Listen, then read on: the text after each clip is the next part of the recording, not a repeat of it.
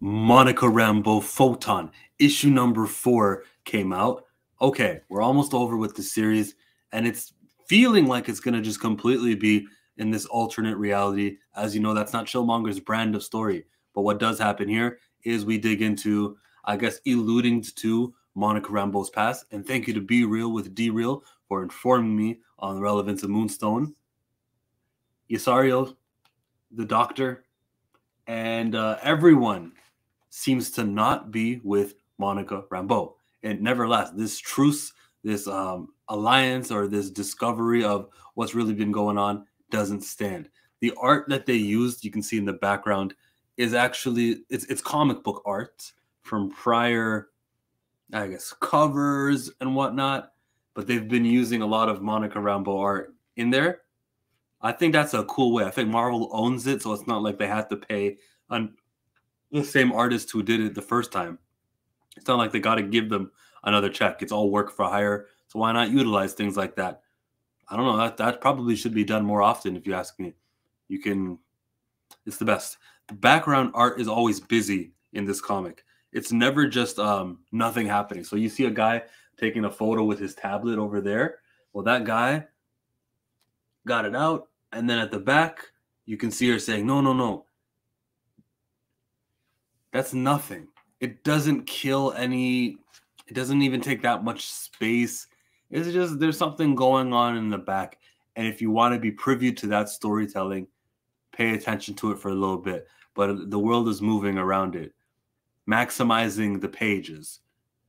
I got on issue number one for not two, for not maximizing the pages because it was just a meteor is falling. And here's another panel of the meteor falling. And we had it for like three pages in a row. This is not that eventually we get to fighting, and I love that.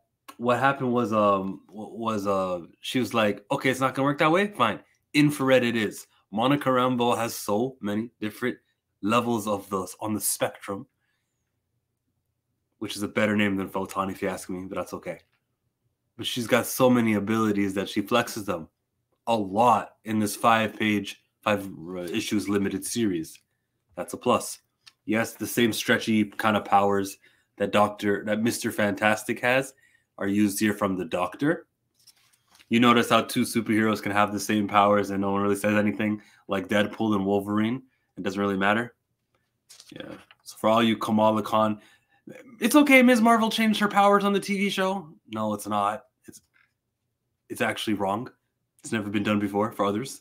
She takes the Stone of Hala away from this from the uh, from the headquarters or from the from the laboratory, and she brings it back to her friends that she remembered. Except all of her friends that she remembered don't want anything to do with her. They are gone. They're like, "You're a problem. You are broken." This is this is wrong. Huge big explosion there. What can we say about this artwork? I can tell you that the writer was Eve Ewing, but the artist here was Luca Maresca, and it's only Luca Maresca. So that I now I know who to give credit for. That Ivan Fiorelli guy, whose artwork was cool in the prior, you know, never complained. But if this is still good, then I can properly say I know who to credit for uh, good artwork, which is which is the standout from this man. Colors as well, but the, the the artwork stood out. The line art very much. There's a moment here where she's talking out loud um, I'd have changed that. I'd have had her talking in those text boxes, and we could just be reading what she's thinking in her mind. But she does talk, and she says in the corner over there, I'm, "I'll go back to marrying Jericho Drumm. I'll be an Avenger again. I'll pick out my afro, whatever." I wouldn't have said the words, "I'll pick out my afro." I'd have said the words, "I'll pick out my fro," without the a. There are moments in here where she says things that sound real this was not one of those moments that sounded real. I, I just, and this is a today's episode of Chillmonger nitpicks, and you can let me know because there's a comment section if I'm nitpicking or not. But picking out my fro sounds more natural. It sounds like something that someone who says, "Don't start none, won't be none," would say, would say also. Comic book returns to Caleb's. Caleb is um, her cousin. Her cousin And she's I love the way she changes her clothes again with the artwork. Again with the artwork. You can just see her changing her clothes from one to another and there's like lights. How does she do that?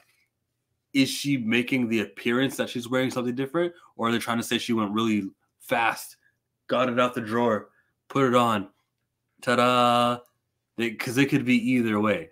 The lighting and the around her aura doesn't tell me exactly how it happened, but it is something that I enjoyed. I like to see superhero powers in an intimate setting when we're just at home and we're and there's the a can of soda up on the top shelf and Mr. Fantastic gets it.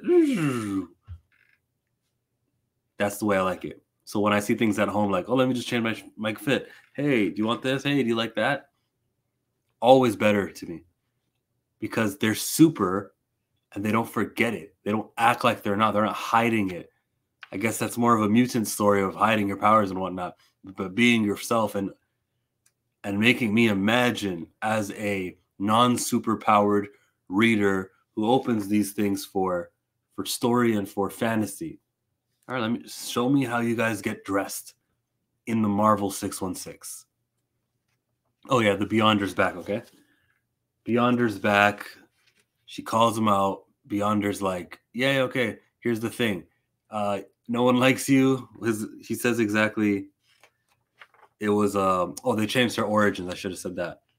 They say that there's two people that they were worried about. One of them was the Molecule Man, Owen Reece, and there's one other person. And then you can see a flashback of her parents talking to her. Mom just got turned down for a job and it was a very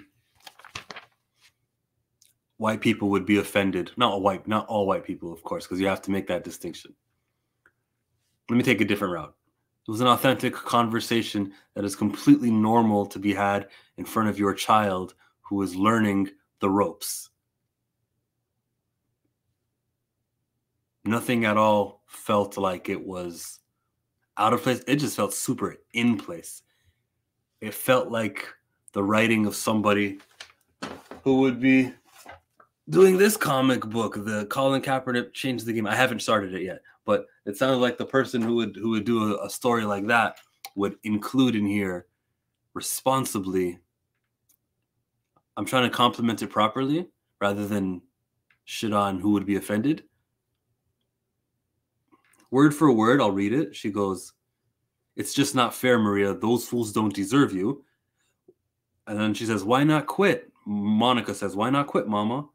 If they don't give you the same chance as everybody else, quit and do what? Let my family go without? It's not just about what I want. We don't abide quitters in this house, Monica. We don't give them no one reason to doubt us.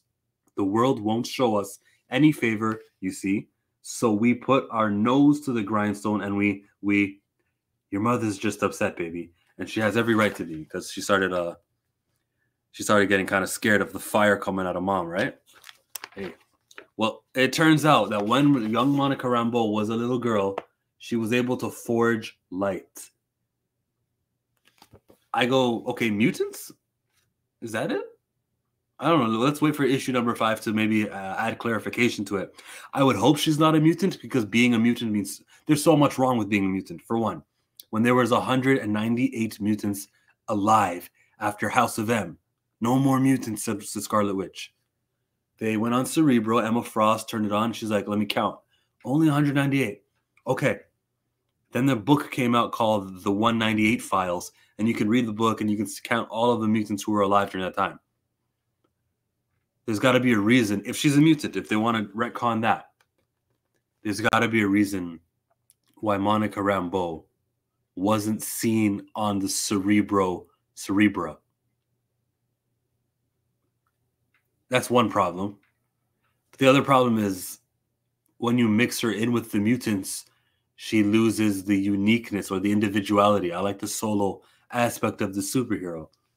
I don't think Monica Rambeau benefits at all from being a mutant if they go that route. Nothing confirmed. All I'm seeing is she's she lights up her things, right? That's all I'm seeing. She lights it up, and then uh, when that origin story happens in Avenge in Amazing Spider-Man Annual, and she becomes boom, superpowered, that kind of awoken something, which happens with mutants in adolescence. But it just doesn't sit well with me. Changing someone's origins 40 years into their existence never will sit well with me. I'm gonna come at it wrong. Undecided about how I feel because it's an unfinished series. Oh yeah, and then uh, Starfox is at the end. The guy who does pheromones, the guys who make, who make you fall in love because of the way you smell or however the hell that works.